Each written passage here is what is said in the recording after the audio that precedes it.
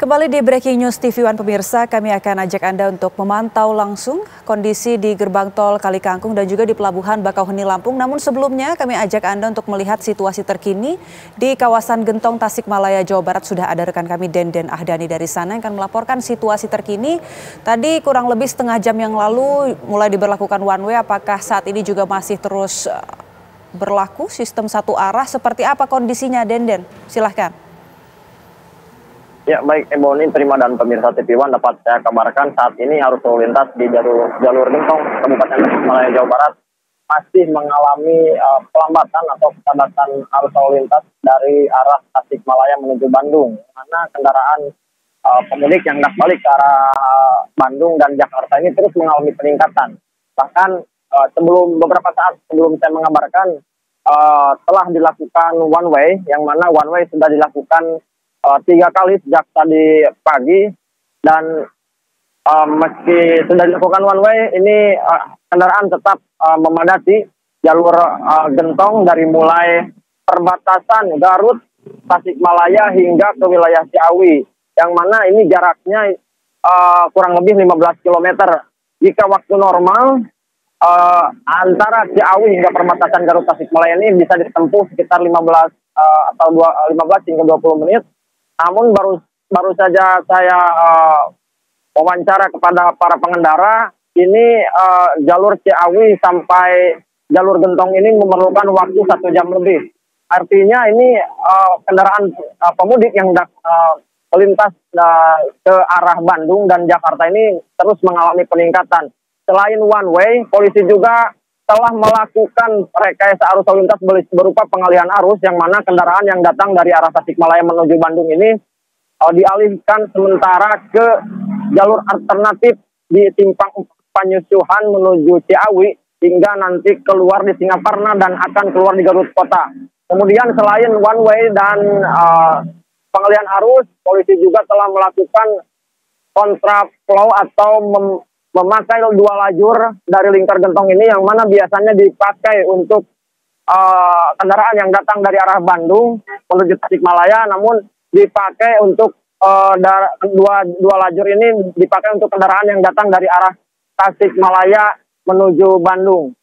Namun setelah dilakukan uh, upaya rekayasa arus lalu lintas dengan sistem one way, pengalihan arus dan kontraflow masih saja kendaraan di jalur gentong ini uh, mengalami kepadatan. Karena memang uh, prediksi uh, dari pihak kepolisian puncak arus balik ini akan terjadi hari ini hingga minggu besok. Dan saat ini juga di belakang saya kendaraan dari arah Tasik Malaya menuju Bandung hingga Jakarta ini masih mengalami pelambatan atau uh, padat merayap. Hingga saat ini pihak kepolisian juga tel, uh, tengah melakukan persiapan untuk melakukan one way kembali dengan menutup uh, atau menghentikan sementara kendaraan yang datang dari arah Bandung menuju Tasikmalaya di wilayah uh, Malangbong, Kabupaten Garut. Ini dilakukan karena antrean kendaraan di jalur gentong ini sudah cukup padat. Bahkan ini one way yang terbanyak untuk hari ini hampir uh, tiga kali dalam waktu dekat. Ini diprediksi uh, nanti malam atau hingga besok ini akan terus meningkat. Demikian Ebony dan Prima. Ya, Denden kalau dibandingkan dengan kemarin, berapa kali one way diberlakukan kemarin? Ya, dibandingkan hari kemarin one way baru dilakukan pada sore hari. Namun pada hari ini sejak uh, pagi tadi sudah dilakukan one way karena memang uh, banyaknya kendaraan yang melintas dari arah Tasikmalaya menuju arah barat atau Bandung dan Jakarta dan saat ini juga meski telah uh, sudah dilakukan one way namun uh, kepadatan kendaraan di jalur gentong ini belum juga terkuras. Ini di belakang saya bisa diperlihatkan kendaraan masih uh, padat dan sesekali mengalami uh, nyaris tidak bergerak karena memang selain banyaknya kendaraan di jalur gentong ini juga banyak uh, tanjakan uh, dan turunan serta tikungan yang uh, berkelok sehingga untuk para pengendara ini mengalami pelambatan dan uh, berpengaruh terhadap kendaraan di belakangnya sehingga uh, terjadi kemacetan di beberapa, di beberapa titik. Pantauan kami juga tadi di jalur gentong ini ada lima titik kemacetan. Yang pertama di tanjakan gentong bawah, yang kedua di tanjakan gentong atas, kemudian di tanjakan uh, pas masuk di lingkar gentong, tanjakan puspa dan tanjakan stroberi. Demikian. Baik, Denden kalau bisa Anda pantau ataupun Anda lihat secara langsung di sana antrian kendaraan itu kira-kira bisa mencapai berapa kilometer, Denden?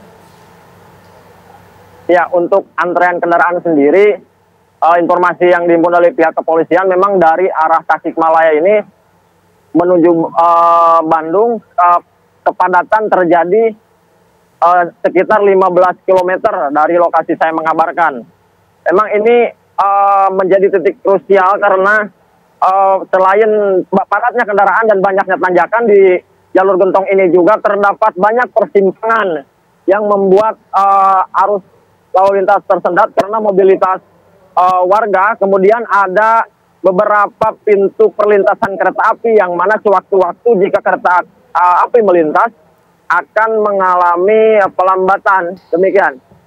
Iya, kalau dibandingkan dengan kemarin ya angka jumlah kendaraan ini dua kali lipat atau berapa kali lipat nampaknya sangat signifikan ya perbedaannya. Ya, baik. Uh, data yang kami himpun untuk uh, hingga pukul uh, 13 uh, tadi untuk uh, kendaraan yang melintas ini naik sekitar 40 persen. Uh, jika hari kemarin sampai sore bisa peningkatan bisa terjadi uh, hingga 20 persen dan ini peningkatan bisa meningkat lebih dari uh, dua kali lipat. Demikian, Ebony. Baik, uh, Denden mungkin Anda bisa ceritakan atau gambarkan ya, titik Anda melaporkan itu adalah titik yang mungkin setiap tahun memang menjadi titik krusial, titik kepadatan setiap terjadi puncak arus mudik ataupun balik. Apakah skenario dari pihak kepolisian hanya one way atau mungkin ada cara lain untuk mengurai kepadatan di sana?